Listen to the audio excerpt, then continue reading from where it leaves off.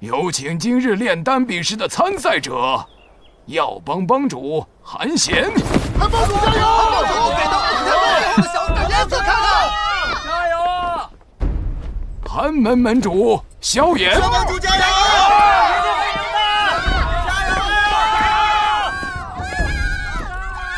萧炎学弟，劝你乖乖认输，把那三种药方交给我，也好过待会儿当场丢脸。哼，学长，你还是盘算下药帮今后的生意吧。比赛过后，药帮五处人流最多的交易地点，我盘门就收下了。萧炎将三种药方以及盘门永不售卖丹药作为赌注，会不会太过冒险？收获与冒险总是并存的，我相信萧炎哥哥。炼丹比试开始前，我们先看一下药方。韩杰，你先吧。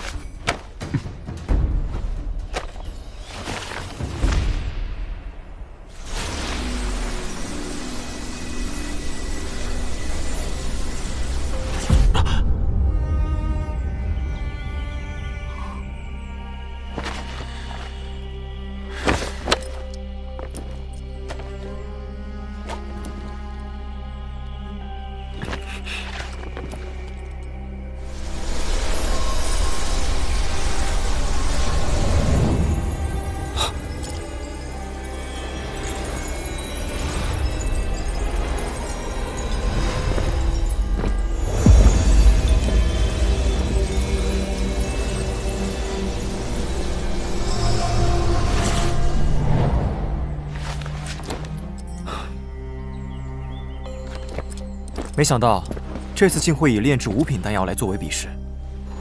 啊，五品丹药，五品丹药，有没有搞错啊？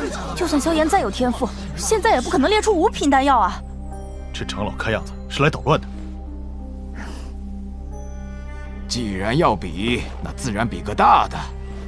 这次比试炼制的五品丹药龙力丹，能让服用者在短时间内拥有极其强横的力量。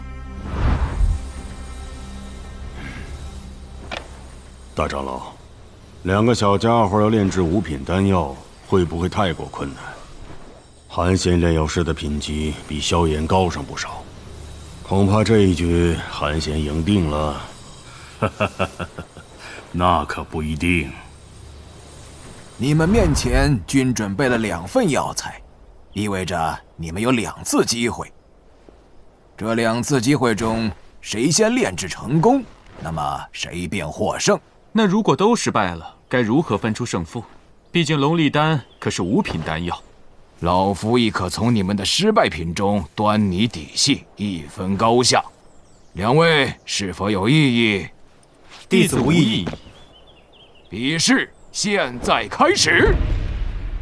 成哥，这韩贤能否获胜？韩贤可是堂堂药帮帮主，岂是萧炎这种下等炼药师可比？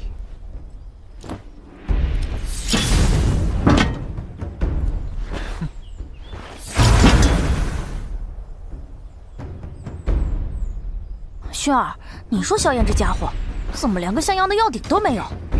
药鼎只是外物辅助，最终靠的还是炼药师自己。异火的威力实在太大，这些低阶药鼎确实难以承受这种热度。希望这东西能坚持到最后吧。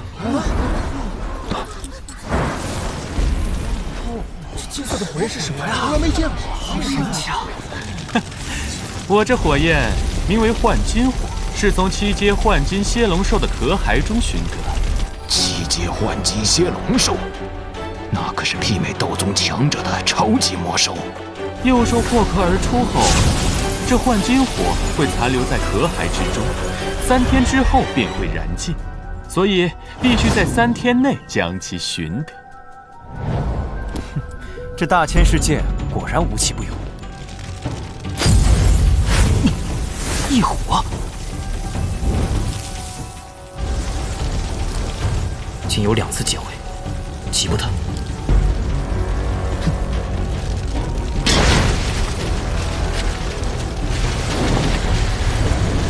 快看，老大开始了！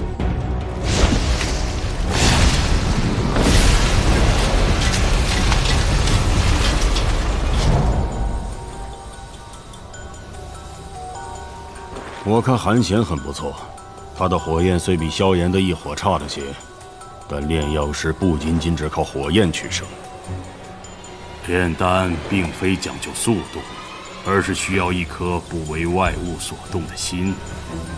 若是不能势头持久，那还不如从一开始便稳抓稳打。该你了。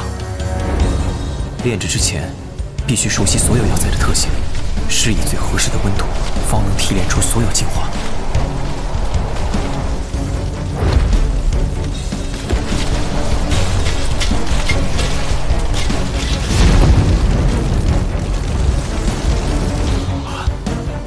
这小子好像进入状态了。谋定而后动，加油啊，萧炎！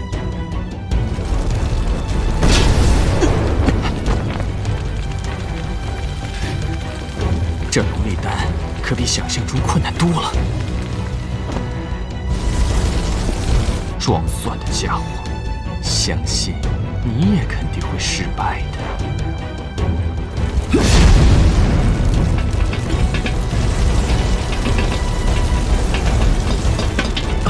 不好！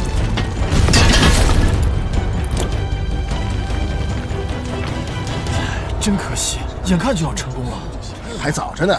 五品丹药哪有这么容易炼制的？看来这龙力丹谁也炼制不出来。既然如此，我只要炼制出来的失败品能超过萧炎就行了。